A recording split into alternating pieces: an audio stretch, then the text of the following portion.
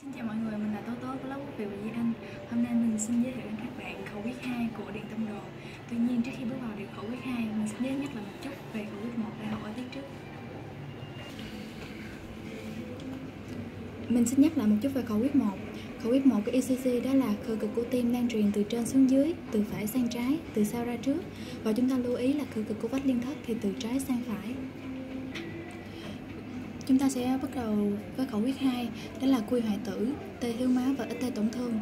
Thì như các bạn nhìn trên hình là chúng ta sẽ thấy được là vùng màu đen Chính là vùng quy hoại tử. Vùng màu tím đó là vùng ít tê tổn thương. Và vùng màu trắng đó chính là tê thiếu máu.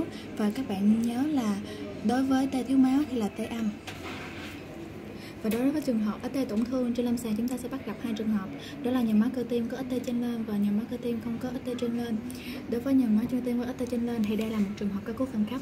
Chúng ta khi phát hiện ra thì phải cho bệnh nhân nhậm thuốc, đặt stent hoặc có phương pháp điều trị khác.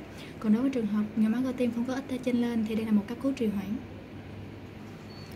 Và mình xin giới thiệu sơ lược về 12 chuyển đạo của trên ECG và đây là cũng là Ờ, nền tảng để chúng ta có thể tìm được tổn thương trên ECG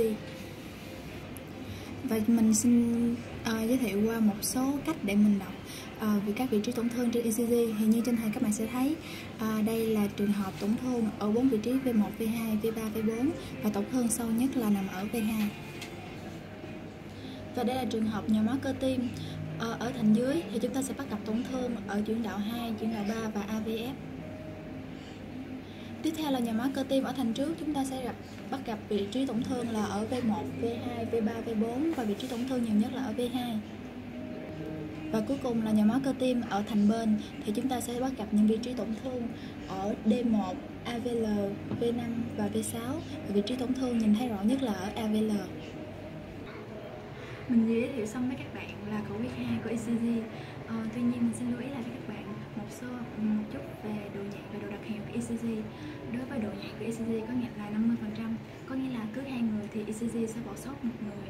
Cho nên là chúng ta khi mà dựa vào độ nhạy thì chúng ta phải cần tìm thêm một cận lâm sàng khác để bổ sung cho chẩn đoán còn đối với độ đặc hiệu là 95% có nghĩa là khi chúng ta nhìn thấy được tổn thương trên ECG là khả năng cao bệnh nhân sẽ mắc bệnh và chúng ta cần có phương pháp điều trị phù hợp cho bệnh nhân. À, cảm ơn các